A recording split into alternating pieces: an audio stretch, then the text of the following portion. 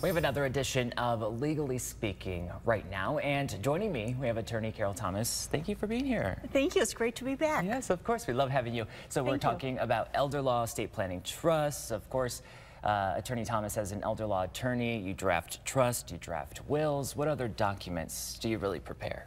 Well, the other two very important documents are powers of attorney. And I wanted to ask you a question this morning. Okay. Do you know the difference between a lawyer and an attorney? And you know what? Do you? No, Oh. I don't, but I should because my best friend is a lawyer or an attorney? an attorney. Okay. Yeah. Well, the difference officially is a lawyer gives legal advice. Okay. So when I'm in my office and I'm um, talking to my clients, I'm giving them legal advice, I'm a lawyer. But an attorney is someone that goes to court and represents someone. Okay. So when I talk about these important documents, powers of attorney, it's documents you set up where you want someone to represent you if you're mentally incapacitated and can't represent yourself. Very good. What is the purpose of this financial power of attorney? And that is one of the most important ones. The financial power of attorney gives the right to someone to make financial decisions, do anything with real estate, pay your bills. It's mm. also our key to getting assets protected if someone is ever in a nursing home. You need a well drafted financial power of attorney. And does that bring up a, a different kind of role, a medical power of attorney?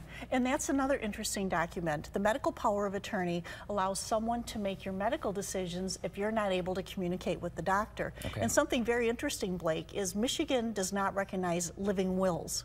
47 states have living wills, so people are always talking about living wills. And a living will, you get to say, what do you want done in the hospital if you're not able to communicate?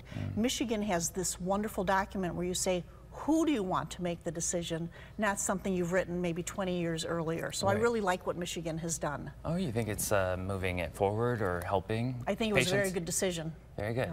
Good to know. So if someone doesn't have these documents and becomes incapacitated, uh, what is what happens next, I guess? It is so difficult for the families, and so many people don't have these documents done, both the financial and the medical.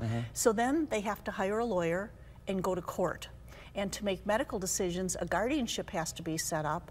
To make financial decisions, a conservatorship has to be set up. And Blake, it's so hard on the families to have this incapacity issue with a loved one, and now they have to hire a lawyer, go to court. It gets expensive. Yeah. It takes a long time. Very difficult. And stressful. Very stressful. Yeah, especially Yes. when you want to focus on on your loved one. Mm-hmm. Is there anything else you would love to share with us today?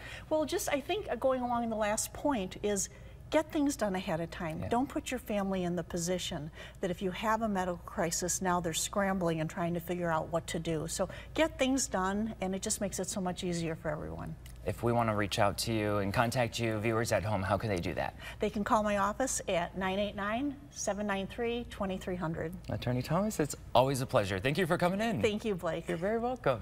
So if you at home want more information on all of this, and you'll be able to learn the difference between a lawyer and an attorney like I did today, just go over to the hot links section on WNEM.com.